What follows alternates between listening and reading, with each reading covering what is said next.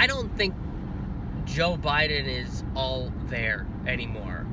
Like, that dude is fucking falling apart. Uh, a lot of commentators were like, yeah, he handled himself really well in that second debate. And I was like, did he? Did he? Maybe that's not what the highlight reels are showing, but holy crap, man. Like, he's not looking okay. Like, he's showing lots of signs of senility. Like, his responses were very slow. He looked very perplexed. Like, when Kristen Gillibrand, Kirsten, Kirsten, Kirsten Gillibrand uh, when she went after him about some op-ed piece that he wrote about, you know, women not working or, or working women are going to be a catastrophe for America, or I can't remember the exact thing, but it, but it came off like like what he wrote seemed very old school and kind of uh, misogynistic, and, and, the way that Kristen Gillibrand was was reciting it. I I mean I haven't read it, but it's also like I'm not surprised that that's something that he wrote right? Like he's kind of had these weird backwards ideologies that are either predicated on traditionalism or like economic prosperity for the individual. Like that's kind of the dude that he is. And and that's all been exposed even before we got to the debates. It was exposed like he called himself average joe why because he fucking took a train from dc to delaware like dude that just shows you that even if you're even if you're like a foot soldier of the oligarchs a political foot soldier of the oligarchs like Joe Biden is you still can't afford to live in Washington D.C. that's all that shows or maybe it shows you that he fucking had more dealings and we uh, you know wheelings and dealings in Delaware than he did in D.C. I don't know wanted to stay close to the ground to make sure that he kept getting reelected all the time. I, I mean, I, there it could be a number of different things, but Biden's not all there, man. Like it just felt like he was struggling, and I feel like part of it is, um, part of it is the attacks, right? Uh, I think people kind of went after this dude real hard, uh, and fairly, I think. You know, like if he wants to come out and be like, I am not a racist, but then you put out a crime bill that put out put more black people in prison. Well, what's your justification for that? Well, I'm really proud of my record. D- Joe, there, what are you what are you talking about, buddy? Like people are kind of slamming him, and I think he's like way too old, and I think his brain is not functioning up like it can't handle the hypocrisy. So it's just kind of like, boom, it's hit a wall you know, so like the more hypocrisies people throw at him, the more like the his brain is not able to do the mental gymnastics as fast as it would need to uh to like get those get those like counterpoints out there it, he's just not doing okay. And it's like, look, there's a lot of Republicans that fucking love him. And if he runs as a Republican, I'm sure, I'm sure he'd get the nomination over Trump, maybe, right? Like it's it's very close. It would be very close, I think, if Joe Biden ran as a goddamn Republican. So I, I don't know, man. Like you're not really a Democrat. You've never really been a liberal. You just sided with them because because you were maybe maybe because you were running in Delaware, and that seemed to be a state where it's like in California, you don't you don't fucking run as a Republican to win. You run as a Republican probably to destabilize the Democratic Party in California a little bit. But it's mostly a Democratic state, and if Delaware was like that, yeah, of course you fucking ran as a as a Democrat. It's just like I'm just watching this dude and I'm like, your mental your your your mental capacity is completely deteriorated. You are no longer able to do those mental gymnastics because you're too old and people are coming at you real hard, real fast, and your brain just can't keep up with all that. And I kind of feel bad for him a little bit, you know? I'm not saying that like his record doesn't deserve it because I think his record absolutely does deserve it. It's just at this point, like, Joe Biden, yo, pump the brakes, dog, and like go home, you know, like take a break. You are not Bernie Sanders. And I'll, and here's the reason for that, right? Bernie Sanders doesn't need to do any mental gymnastics to stand by what he says. Bernie Sanders has consistently believed exactly what he believes. Now, because because of being in in in as much prominent light as he was under the Barack Obama presidency, um, under the Hope and Change presidency, which wasn't really the Hope and Change presidency, but on being under that light, it kind of like you have to do mental gymnastics because people people are now going to look at your record and be like, dude, you are fucking terrible, and you're like, no, no, no, I'm, I'm not, I'm not that bad. I'm, I'm, I'm, I'm, I'm a man of the people. I'm, I'm Uncle Joe. What about your crime bill? What, what about, what about you standing with segregationists? What about this? What about this thing that you, you're talking about? Uh, you know, uh, working women are not going to be good for America, and so on and so forth. And he's like, well, you know, here's the day. And he, it's just like, it's not working because too much mental gymnastics at, at, over the course of 30 years and over the course of what you've done has like slowed your brain down. Bernie's that hadn't had to do that because Bernie's been super hyper focused on his message and being consistent with it and progressing forward with that message. You've had to kind of do loops and jumps you know, like you've had to do somersaults. That's like you know that video. Have you guys seen that video of Bernie Sanders where where he's just like fucking ripping through the the DC subway, right? Like ripping through the metro, and he's just like real fucking business. That, that dude's a straight shooter. He's walking. He's walking straight. Not Joe Biden, man. Joe Biden's trying to do somersaults you know, and he's trying to do like flips and shit just so just so people are to be you know they're, they're like what what's happening right now? Why why just walk. Can't you just walk? And he's like nope. I gotta do this backflip right you know? Can are you guys you guys love me because i'm doing a backflip? They're like no.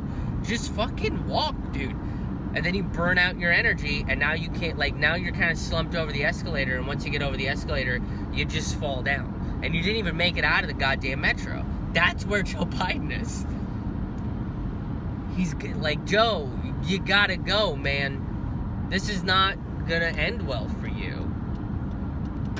And I think that's probably why Tulsi Gabbard does not attack him the way that they, the way that everybody else has is because he's just an old senile man that's having a hard time justifying his extremely terrible record, and he's been in public for way too long with with no consistency, and he's wavering, and he can't like hold himself together. And and Tulsi, but Tulsi went after Tulsi went after another DNC darling though. She went after Kamala Harris, um, and uh, which was incredible. I watched a couple. I watched a bunch of those clips of her going after Kamala Harris's criminal justice record. Uh, that where she's like imprisoning, you know, like she basically addressed like you imprisoned a bunch of people as attorney general. That was your fucking deal. Like you imprisoned a bunch of people over uh, over marijuana laws, and then when you when you laughed about it when people asked you if you had smoked marijuana, which is like, dude, if you're fucking if you're Kamala Harris's age and you didn't smoke weed even once, like I don't, I can't trust you. I can't fucking trust you. You've never smoked weed once? How do you know it's that bad then? How do you know it's that bad? I know, I know that I can't do certain like painkillers, right? Like oxycodone, I've never tried oxycodone, but I know anything in that same category I can't do because I got prescribed Percocets once because uh, I got uh, six dental surgeries done in one day. Uh, don't recommend that but I took half, like my mom um, was like, take half of it just to see what happens. So I did that, and then she made me tea, right? Because I like couldn't move my mouth, and it, and that pain was starting to set in. So I took half of one. My mom made me tea. I had the tea, and I passed out. I just passed the fuck out. Like my mom had to come in, and like I'm still sitting up with the tea in my hand, and she had to like move the tea off off to the, the table like I do, I just clocked out. So like I know I don't like I don't want to try any of that sort of stuff because I've tried it and it's had a bad reaction. Like I don't smoke weed all that much because just, it's just not fun. Like I'm I like get hyper for a minute and then I just want to sleep.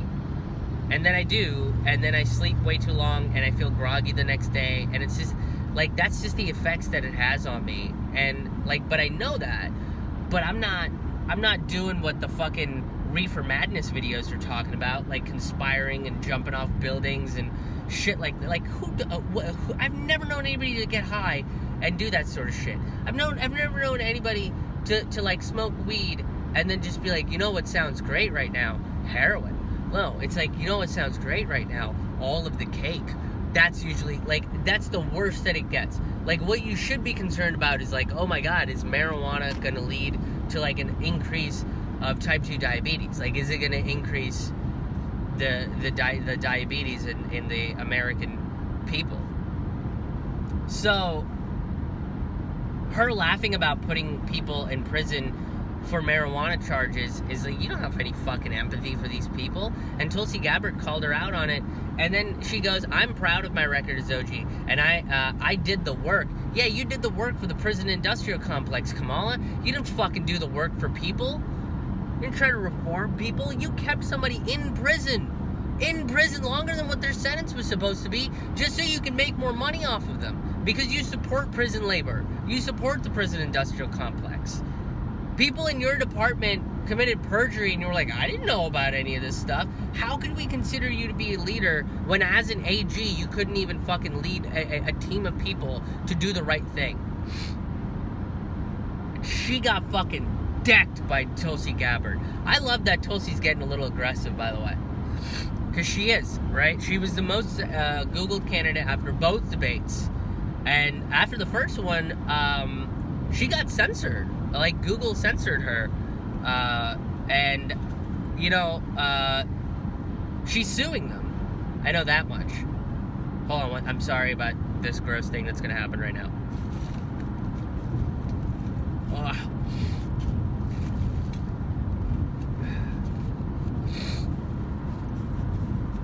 Allergies are kicking back in.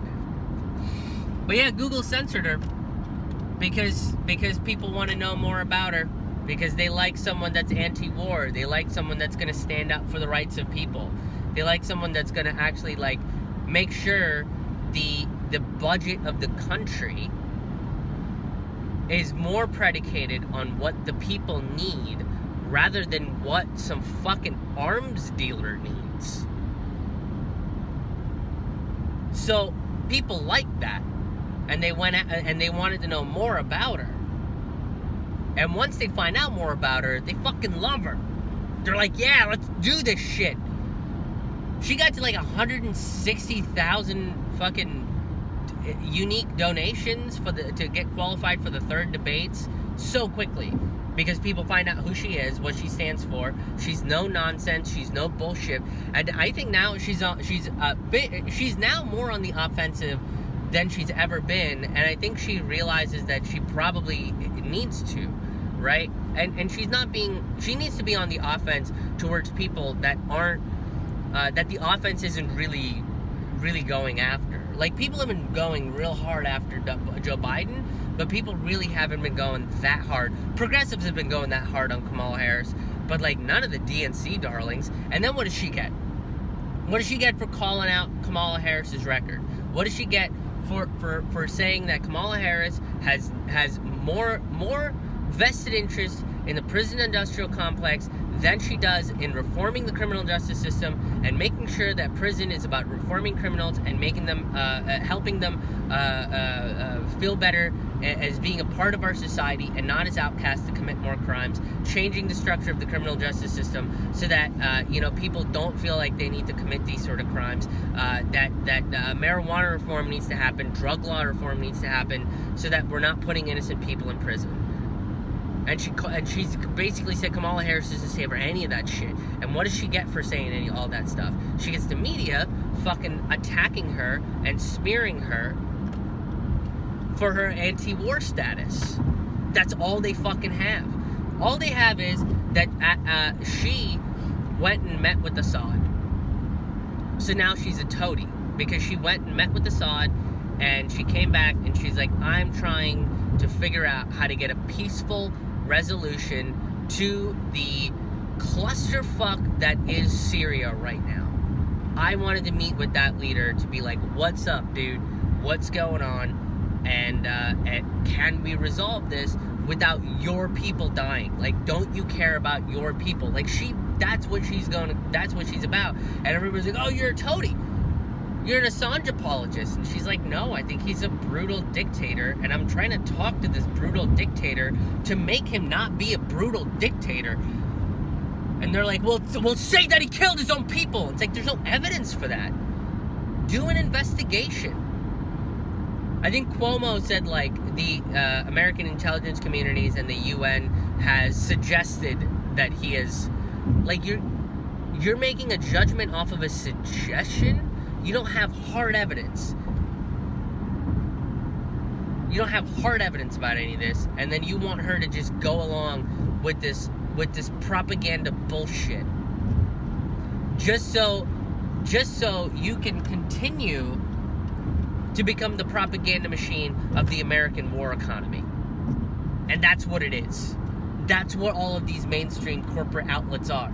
These corporate media outlets, they're just the propaganda wing of the American war economy.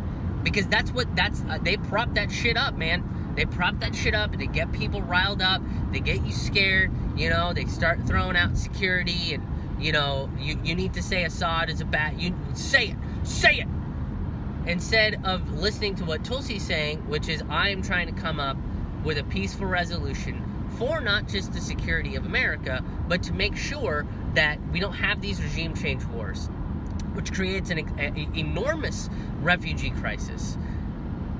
Refugee crisis that spills over not only into our European allies, but also into America. And right now, the United States wants to push for a total war. And CNN, MSNBC, uh, you know, uh, the, all, a bunch of these other fucking places uh, are all trying to get her to just say, like, say he's a bad guy, say it. It's like, that's not how you start a peace negotiation, Cuomo. It's just not how you do it, buddy.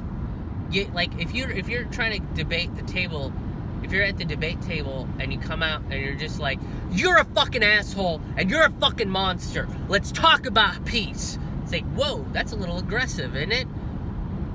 How are we supposed to talk about peace if you're coming at somebody with that much aggression? If you can talk to them in rational, truthful terms without throwing anger at them, maybe you'll get them to maybe you maybe you'll get them to do something. It's not a guarantee, but you'll probably get a little bit closer.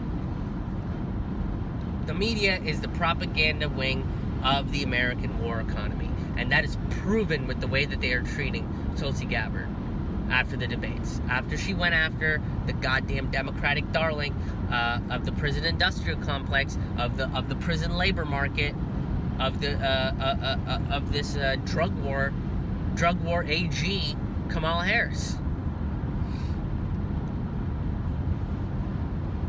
Another. Hey everyone, uh, thanks for watching this video. If you enjoyed it, please like and share it.